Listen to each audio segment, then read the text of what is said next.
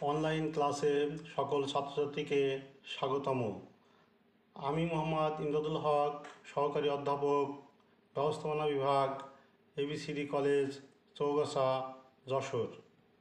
আজ ব্যবসায় সংগঠন ও ব্যবস্থাপনা দ্বিতীয় পত্রের প্রথম অধ্যায়ের ব্যবস্থাপনার সর্বজনীনতা এ প্রশ্ন নিয়ে আমি এখন আলোচনা করছি।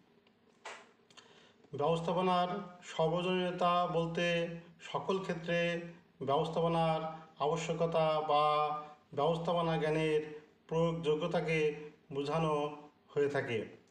বৃহত্তন প্রতিষ্ঠান, পরিচালনায় ব্যবস্থাপনার আবশ্যকতা যেমনই দৃশ্যমান, ছোট প্রতিষ্ঠানের ক্ষেত্রেও ব্যবস্থাপনা অপরিহার্য।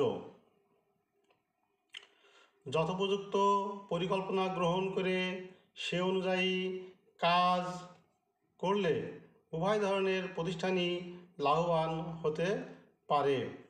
পরিকল্পনা বাস্তবায়নের জন্য ছোট বড় সব প্রতিষ্ঠানকেই উপায় উপকরণাদি সংহতকরণ কর্মীসংস্থান নির্দেশনা, প্রেষণা, সমন্বয়, নিয়ন্ত্রণ ইত্যাদি কাজ সম্পাদন করতে হয়।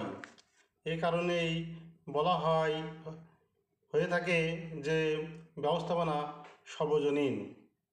গ্রিক দার্শনিক সক্রেটিস, তিনি প্রায় আড়াই হাজার বছর পূর্বে গ্রিক সভ্যতাকালে তিনি ব্যবস্থাপনা সর্বজনীন এ বিষয়টি তুলে ধরেছিলেন। আর এ বিষয় নিয়ে চমৎকার একটা ঘটনার বর্ণনা রয়েছে। তিনি একদিন তার ছাত্র ও ভক্তদের আসরে আলোচনা প্রসঙ্গে বললেন, সাবান কারখানার একজন দক্ষ ম্যানেজারকে সেনাধ্যক্ষ বা সামরিক সচিবের দায়িত্ব দেওয়া হলে সে দক্ষতার সাথে তা পালন করতে পারবে। তখনকার দিনে গ্রিক সমাজে সৈন্যদের ব্যাপক প্রভাব সেনা কর্মকর্তাগণ, সক্রেটিসের এ বক্তব্যকে তাদের জন্য অপমানকর মনে করলেন। কারণ তখনকার দিনে সাবান কারখানা নেহায়েতি ছোট ছিল। তার ম্যানেজারের সাথে তাদের তুলনা করা কোনোভাবেই মেনে নিতে পারছিলেন না। অভিযোগ, রাজার দরবারে উত্থাপিত হলো। রাজা সক্রেটিসকে ডেকে তার এরূপ বক্তব্যের কারণ জিজ্ঞাসা করলেন। সক্রেটিস সবার সামনে বললেন, একজন সেনাধ্যক্ষ যুদ্ধের পরিকল্পনা করেন, সৈন্য ও রসদপত্র জোগাড় করে থাকে, তাকে সংহত করেন, যুদ্ধের নির্দেশ দেন সৈন্যদের উৎসাহ দেন। যুদ্ধ শেষে জয় পরাজয় নিয়ে পর্যালোচনা করেন। ভুল ভ্রান্তি থাকলে তা সংশোধন করে পরবর্তী পদক্ষেপ নেন।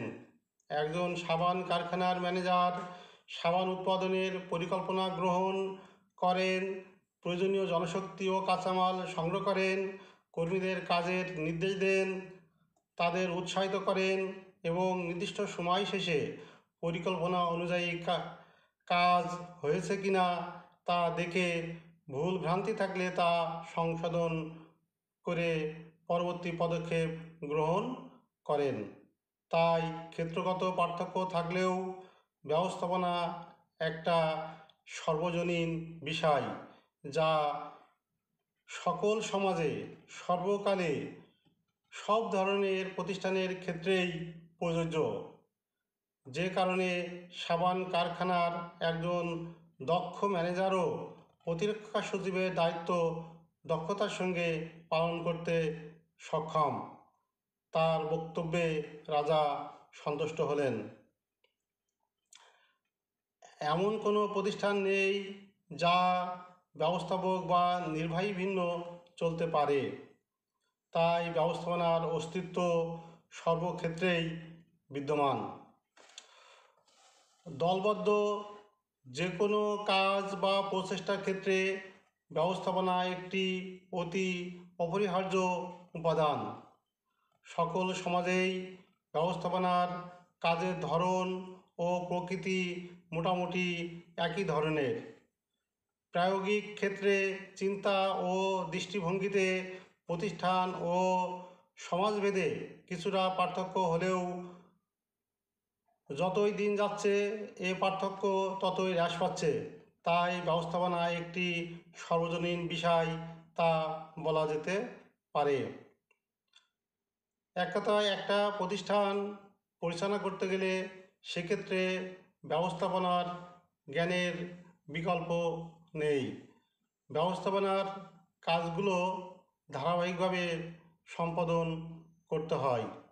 এই জন্য ব্যবস্থাপনাকে সার্বজনীন বিষয় বলা হয়ে থাকে।